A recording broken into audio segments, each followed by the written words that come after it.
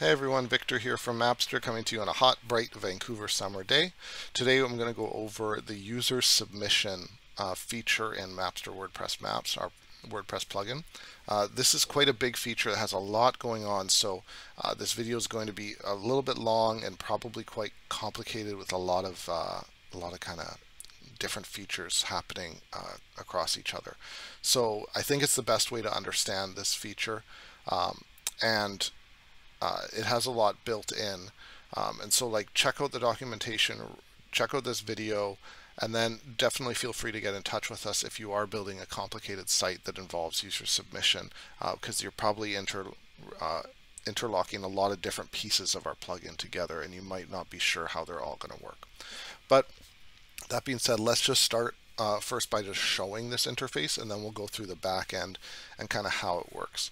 So the idea is that you'll have a map on your site and you'll be able to add these buttons that allow a user to submit a point and or edit a point if they've already submitted them or if they already exist on the site. So to submit a point, the user will just press the button. They can select between different categories that you've selected uh, for them to be able to choose from. These can be whatever you want. Maybe you want them to be able to add parks or local landmarks or whatever. Um, they'll click on one. Then they'll uh, be able to add a point. They can do this, in this case, only through a map click, but another way that's possible to do is to have an address search, like a geolocation. They'll type in an address. They'll click that then they'll have to move the map around until this target is on the spot that they want it to be. So they can zoom in and move things around. And then they'll press capture point. It'll say your selection saved. Okay, it's good. They can either do it again if there is an error or press confirm. And then it'll pop up a form with any extra information you've chosen that you want them to also submit when they are creating their point. In this case, I have some sample stuff about schools. Um, and I'll just type in sample school and we'll press submit. And that will then save and then they can go back to the map. The point doesn't get added immediately. It will take a reload or uh, there's some options that um, it might not be published right away. And I believe that's the case in this case. So that's the submission um, interface. So we'll go, well, we can, we can look at editing um, you know what, let's just look at editing right now. So if I press edit point, um, then a little search form will pop up and I can search for a given point that I know I've created or something. So in our case, let's just search for school. Um, oh, that's not there. Uh, I know I have one called Levenit on the back end. So um, Levenit comes up and I can press edit. And then here we go. I can change the map location by pressing this button and I'll go through that same process again of the target and all that or I can change some of the information here and press save. And there are some user permissions around this, although we're building out a couple more um, just to make sure users can only change their own points or only get their own points listed or, or that sort of thing. We're, we're, refining this a little all the time. Um, so let's exit out of this and let's learn a little bit about how this works in the back end and all the different options that are available. So if we come into the back end, uh, what you first want to do is when you install Pro, you'll want to come over to Advanced Options in your settings and turn on User Submission. This just turns on a few things in the back end so it'll work. After you see that, um, after you've turned that on, you'll see that User Submissions, this new post type has appeared here.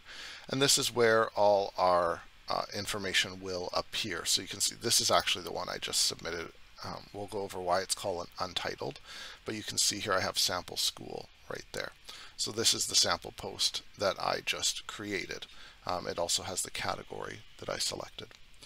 So everything will be stored in here. You can also CSV export if you want to get everything into like a spreadsheet format for some other purpose. Um, and that'll take the geography as well as all the other custom fields that you've added, um, an ID and, and these kinds of things. Okay, so if we were to create a new map, um, I already fired one up, but let's just let's just do it again from scratch. We would go to Maps, press Add New, and we could, you know, whatever sample map, and then we would come in here to User Submission, this section, press Enable Submission, and now we can set up a lot of the options that we saw at play in the example. So you can select different categories, which will be those first few categories that they can choose from. Um, these can also be customized uh, with their icon and the text in the categories section. Um, let's just take a quick look here. Um, if we go to Cat 2, we can see here, here's the icon that I was using and here's the little description. So that'll allow you to add some more detail when people are selecting categories so it's not just the name of the category. So you can select any number of different categories. You can choose to include an address search or not. Uh, if you do include it, you want to include a Mapbox uh, geocoder token just so that the, it's a nice address search. And this is your type kind of type an address and options appear and you can choose one and it'll center the map. Um, then you can enter what you want the title field to be. So this is why our our stuff is uh, untitled. We will be able to um, type in an, an, advanced custom fields field. We'll go over that. Uh, we'll come back to this in just a second so you can really see what's at play here, but you can make sure that the title field is one of those fields that the user fills in. In my case, I might want to make it the school name field, right?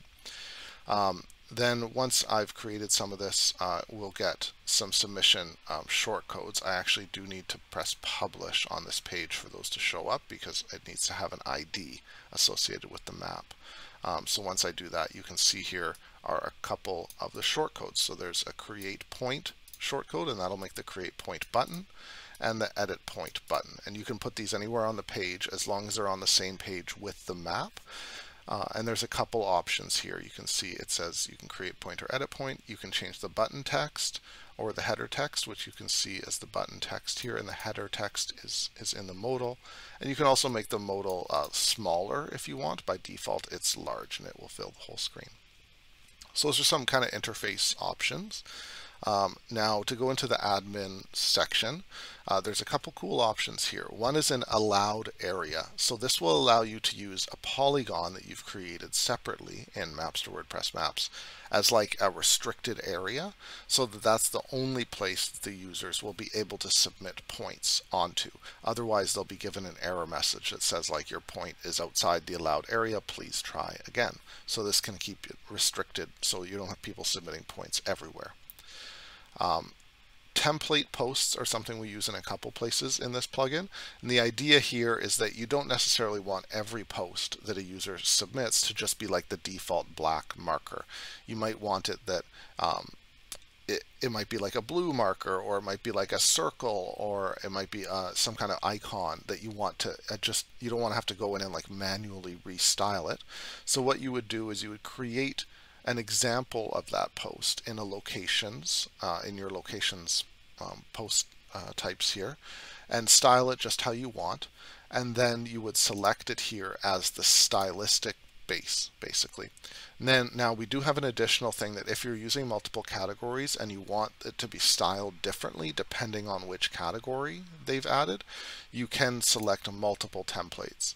The important thing here is that if you have multiple categories, let's say we have multiple categories, uh, it just keeps appearing. There we go. If you have multiple categories, you want to make sure that the template posts are in the same order as the category. So cat2 will line up with 3D model test and cat de will line up with Albertville. And if that's if I want it to be the other way, I can just grab this and drag it in front, right? So these do have to be in the same order. That's important. That's how it knows which templates uh, line up with which categories, okay? Or you can just select one for everything.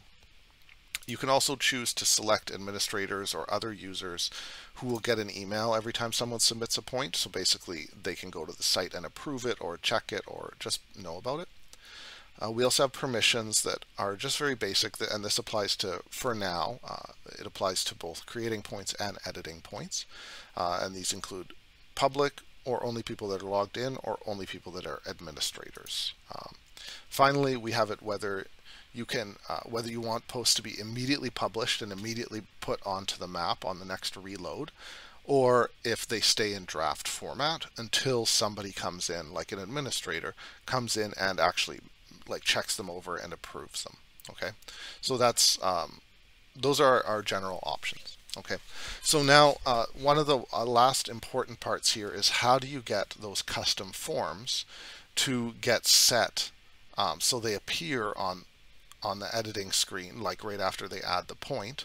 Uh, how do you get those fields to appear? And associated with that, how do we get this title field? So for this, we do have to kind of mash together a couple plugins. It's not too hard uh, if you're you know dedicated to creating this, but it does take a little bit of finesse. So what we have to do is we have to go to we have to install advanced custom fields. Um, this is already automatically installed with WordPress with Mapster, uh, but you, will need to install it manually just so you can access the interface.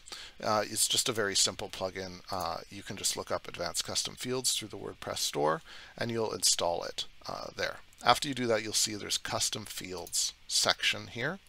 And in this, uh, in my case, I have I made a new field group and in this field group, I create a bunch of fields. Now, to learn how to use advanced custom fields, you can look up some other uh, documentation. There's lots and lots of options. You can add all kinds of different fields, text, image, uploads, select buttons, radio buttons, child fields of all these other types. So there's a lot here, very, very flexible, which is why we chose to use it. However, one of the important things is once you've created a bunch of these fields, you need to create this same thing in the location section, rules. These rules need to apply the post type both to user submission, which is our post type that was created here, and to the location. I mean, it's actually an or, but it needs to apply it to both of them, to the user submission and to the location type okay? This is just because some of the ways that the backend creates those template posts so that they're all populated with all the proper information needs them to be attached to both okay? And you have to create your template post after you've done this. So you'll you'll make your form you'll attach it to both post types then you'll go over to your maps create a location that is your template location with all your template styling and and create it then, or at least you have to update it after this. This is just because then it in the back end it gets all these fields associated with it. So when the new post is created, it it has all the information that it needs to get saved properly into the back end. Okay, so this this is important. Um, just to set this up, press update, and then update your template posts. Now the last thing is to get that title field working. So here you can see we have different names that have come up with the fields. All we have to do to choose our title field is pick the name that we want. We copy that and we will throw it into our uh, wherever our map is. We'll come back to our map and come down here and we would just type in school name and that way we'll know it'll always know that school name is the title to give to the appropriate post. So that's the user submission functionality generally. There's a few little ins and outs here that you might want to you know interlink with other features in Webmapster, but definitely get in touch, leave a comment, or uh, you know let us know a new way that this could be better if you want. Um, but hopefully that all makes sense. Take a look through the documentation and hope to see you make some really awesome uh, user interactive sites with this feature. Thanks very much.